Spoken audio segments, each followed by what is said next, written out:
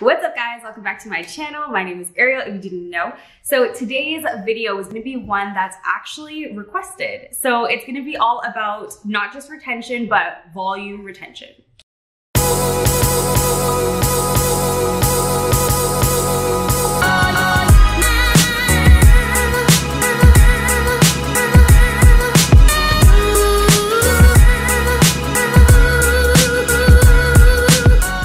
Okay, so there are a couple things that are a little bit different when it comes to classic lashes and volume lashes in terms of retention. Of course, you want high retention in both because that's just your overall service.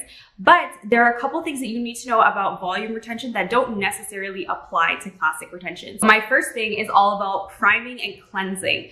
Obviously, this is something that we know we need to prime and cleanse, but the reason why I'm emphasizing it a little bit more on volumes is just because you wanna make sure that your base is completely clean, completely oil free, so that way when you place your fan, it doesn't slip and slide and then mess up in terms of direction, placement, or even just kind of getting tangled into other fans, because when you brush it, it can easily pop off. Number two is your volumes actually need a friend. What I mean by that is your fans are not meant to be singly placed and meant to stay there alone. Your friend, your fans need a buddy. They need to be supported by another fan. So what I mean by that is that when you place your fan, it needs another fan right beside it to hold it up. And that way these fans work together to kind of create its own like bridge, if you will, and they support each other. So that's why when they start to fall off and you start to get gaps, they tend to fall off faster when there are spaces in between them.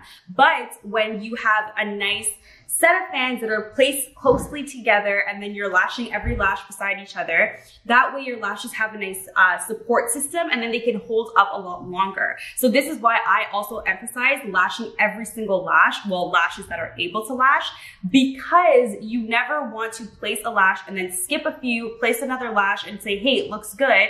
But the space between this fan and this fan are so far off from each other, maybe like it's barely touching and they're not supporting each other. So then that lash can just pop right off because there's nothing there holding it up. Make sense? Okay, and then speaking of placing your lashes, my last one is really and truly placement. Your placement is so important. Your placement is literally all that your lashes depend on. What I mean is that yes, of course, you wanna make sure in classics that your lashes are straight and all that good stuff. And that's why it's so important to learn classics first because you wanna make sure your placements are good when you come to, into volumes because now it's not just about the look of the lashes. Placing your lashes is a big impact on your actual retention.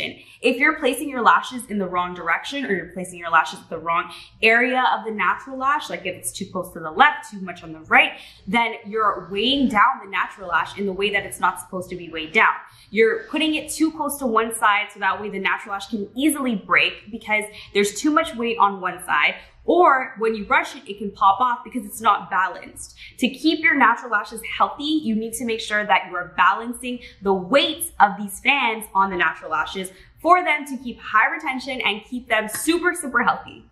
Okay guys, that is it for this video. I hope that you love these tips. I hope that you found them helpful. I hope that they're not the most simple tips that you normally hear and there's something new that you can work on in this video. But don't forget to like, comment, share, and subscribe and I'll be back with something new next time. Bye!